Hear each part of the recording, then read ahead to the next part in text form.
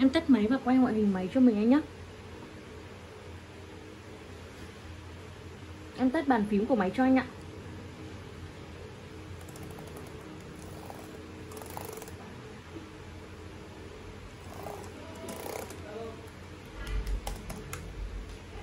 Chuột trái, chuột phải, bàn phím ok nhá. Nhé Em test uh, ờ, loa của máy cho mình ạ.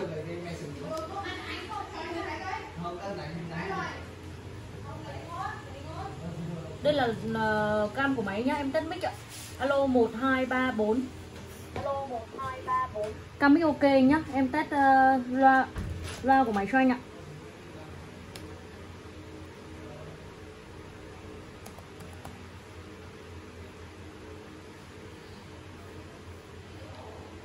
So what is ClickUp? ClickUp is an all-in-one productivity software where you can manage everything and anything.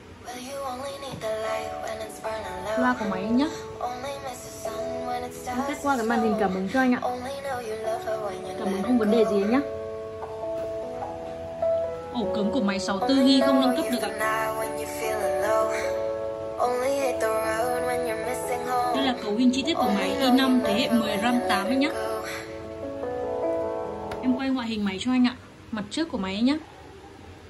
Mặt sau của máy ạ. Chiếc này các bạn vừa mang số rất đẹp đấy ạ. Các cạnh đây ạ, Không bị cật móp hay va đập gì cả. Tổng quan ngoại hình chiếc này đẹp anh nhá.